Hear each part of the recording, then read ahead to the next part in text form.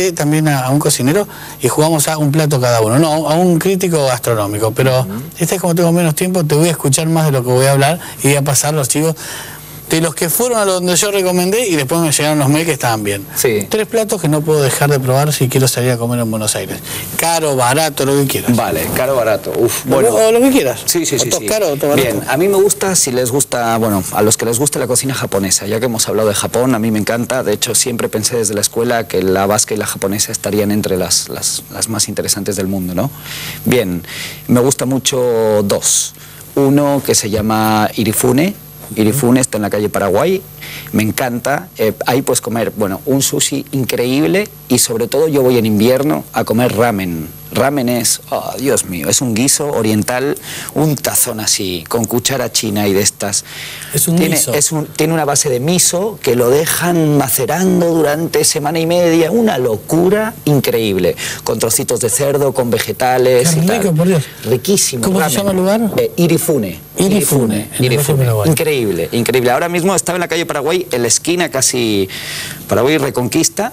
Eh, pero ahora está a media cuadra, se mudó. Paraguay el 300 estábamos. Ahora justo hoy voy que tienen la, la reinauguración del local. Pero a lo que voy, ¿eh? el tipo es amigo, me gusta mucho su cocina y todo. Pero oye, o sea, yo no tengo nada que ver con nadie, no me hace falta No, nada. muy el claro ramen ese- yo también el recomiendo lo que gusta. Dios mío, me Eh, encanta, me sí. encanta. Después, me gusta cómo me miman en Osaka, me gusta. Cocina peruana y japonesa, porque me gusta comer mucho pescado crudo y pescado marinado y Las los tiraditos. esas, ¿no? La- Todas las cositas son muy ricas. Y aparte está Hernán, que es el jefe de salón, que nada, que en, en dos veces que he ido, pues nada, me, me- me conoce de mi trabajo y le gusta mucho, entonces me cuida, le- yo le entrego la carta y le digo, Hernán, lo que tú quieras. Y para mí eso es estar en plena confianza. Bueno, y saber que me van a lugares cuidar. caros, ¿no? Donde Exacto. se reproduce esa situación, de los que yo pude conocer aquí en Buenos Aires, eh, el mejor es Bengal. Ajá, sí. Te relajás, tráeme lo que quieras y todo es rico. Eh. Si alguien tuviera que recomendar, es- si te gusta el picante, pedite un curry, eh, es extraordinario. El curry de ahí es extraordinario, sí. Qué bien, Eh, sí. qué bien. Eh, es muy bueno. Y la verdad es que tienen eh, una, la- que es dificilísimo mezclar, eh, unas lasañas tan particulares, algunas hasta incluyen mariscos, otros quesitos. Las lasañas de ahí son increíbles. Wow. Pero sobre todo es eso, es relajarse y todo lo que viene es rico. Eh, ahora hacen, por ejemplo, mariscos eh, saltados, que vos sabés que hacen un pulpo, Sí. saltado queda bien crocante afuera Qué rico. y bien rico adentro, si te va a gustar. Qué rico, Así de bien. relajarse, de los caros, te relajás Vale. así y, y vale la pena. Y que traigan lo que quieran. Otro lugar donde ir. Bien, otro lugar donde ir. Bueno, como me he ido quizá a lugares, bueno, eh, Irifune es promedio, es lo que todos gastamos en cualquier día. Eh, Osaka sabemos que es más alto, obviamente. Me voy a ir a uno donde suelo ir mucho, mucho y tal, porque está lo de casa. Eh, te va a sorprender quizá, pero no creo, porque ya va- vamos Sí. manejando un poco nuestro perfil.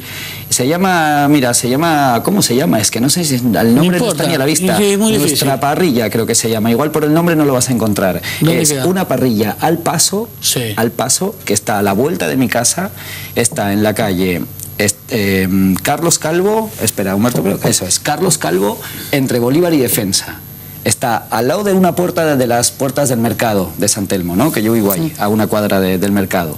Y está ahí, entonces, está en Carlos Calvo, entre Bolívar y Defensa. Es una parrillita pequeñita, casi al paso. Dentro entrarán 10 o 12 y en taburetes, nada más. Eh, mucha gente, calculo, depende. pido? Eh, chori, increíble, choripán, Chori increíble. increíble, pero Abierto rico. mariposa. Eh, como quieras, está toda escrita en las paredes de turistas que escriben qué rico el chori, qué rico, qué rico, qué rico. Y luego, bueno, está Freddy e Inés, que es un matrimonio, que son los que se ocupan, los hijos a veces están, y yo vengo de viaje, de recorrer dos países, vengo famélico, he bajado cuatro kilos porque en los viajes adelgazo de- del, del trabajo y del esfuerzo. Y ahí- marcha un chori para Borja. y no, pido un vacío y me sirven, no sé, un vacío de 800 gramos, onda madre, onda aliméntate, Sí, sí, chico, sí. y tal, así. Y un martes, no sé, a las 9 de la noche de invierno voy ahí y tal, al lado de casa, bueno, me quiero comer algo. Son Y buenos los lugares son de madre. que, eh, A mí me encantan, me Por encantan. ejemplo, yo tampoco sé el nombre, pero el dueño eh, es lo de Carlitos para todos los que han ido y yo, y yo sé que conoces. El Carlitos, sí, por aquí, Acá en el- República sí, de la India. sí, sí, sí, Creo que se llama. Guidos Bar. Sí, Es también onda se llama padre. así, se llama no así. te dan pan. No comas pan, si hay comida. Eh, eso para mí uno de los mejores lugares de Buenos Aires. Sí. Y sacan el oriquete, que es, ¿cómo se- eh, ¿oriquete se llama la pasta? Creo que sí. Sí, que es como, como un gnocchi, pero es como la- hecho así, no, no, es como es un capelete sin relleno, durito al dente, con aceite de trufa. rico. Oh, que, qué rica la eh, trufa. claro, que es muy rica. eh, y, es de y tampoco, es como onda madre, te sentás Claro. ahí, no comas pan nene, Te dan, y sí. te dan, y te dan, y te dan. Lo que eh, la mayoría de la gente llama tapeo, ¿no? Exacto, sí, pequeñas porciones y demás. No, pero la pasta ahí siempre es increíble. Qué rico. A mí me gusta el lugar donde voy y siempre sé que como lo mismo. Sé que si como ahí eh, un fideo va a estar justito y va a estar bien. Es, es muy difícil, ¿no? Sacar los platos siempre bien. Hombre, depende de, de cuánta gente tengas, cuánta gente te cae de golpe, cuál, cuánta capacidad tengas en el restaurante. Todo depende de eso, de la infraestructura que tengas y todo. Uno puede responder bien a un evento de mil personas, siempre y cuando tengas cocineros suficientes, distribuidos en zonas específicas y con herramientas posibles para que puedan dar el- el servicio bien.